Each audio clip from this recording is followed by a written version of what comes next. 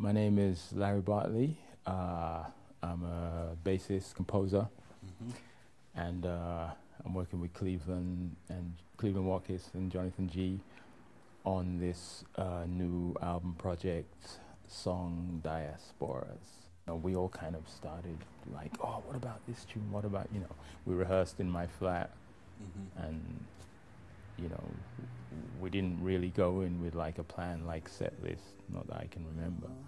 We just like, Cleveland had some songs, like ideas, like uh, Sicilienne and stuff. And, and uh, yeah, all three of us just kind of somehow got this whittled it down to the songs that are on the album you know i mean there's like dozens more songs we could have done like we had to just pick something okay let's deal with these and i mean for me anytime i play without drums it's it's uh, there's more you know i love playing with drummers but um you know I, I don't miss them when they're not there you know I, it, it gives me a whole different uh, I'm from the Art Blakey school of thought. You know, I, I, to me the drummer is not the timekeeper.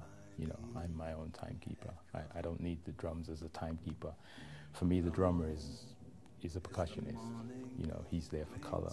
The point for me of always playing with Jonathan and Cleveland, whenever I played with them, is uh, it's always about music. Like they bring they bring music. They bring um, you know, we like a lot of the same things, and they always bring things that, you know, I wasn't aware of.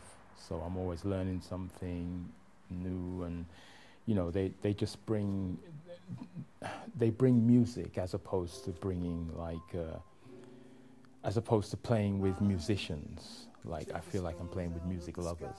You know, their love of music is so infectious. that there really is very little difference between having an hour conversation with Jonathan or Cleveland separately or together than actually doing a gig. You know, every music swings.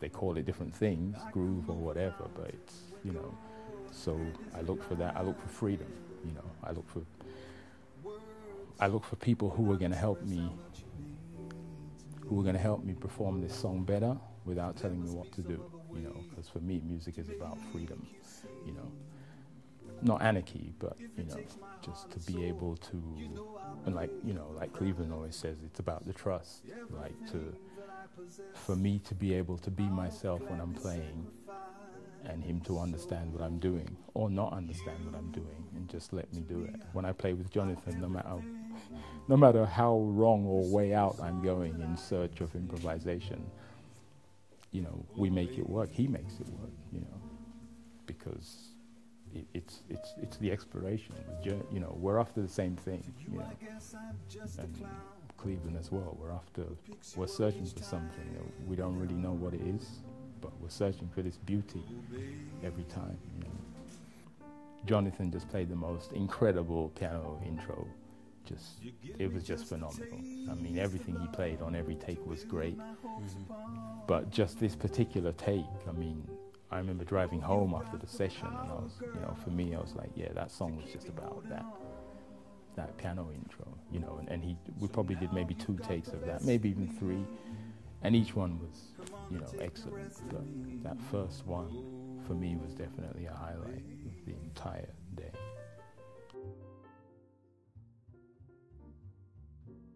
Though you're close to me, we seem so far.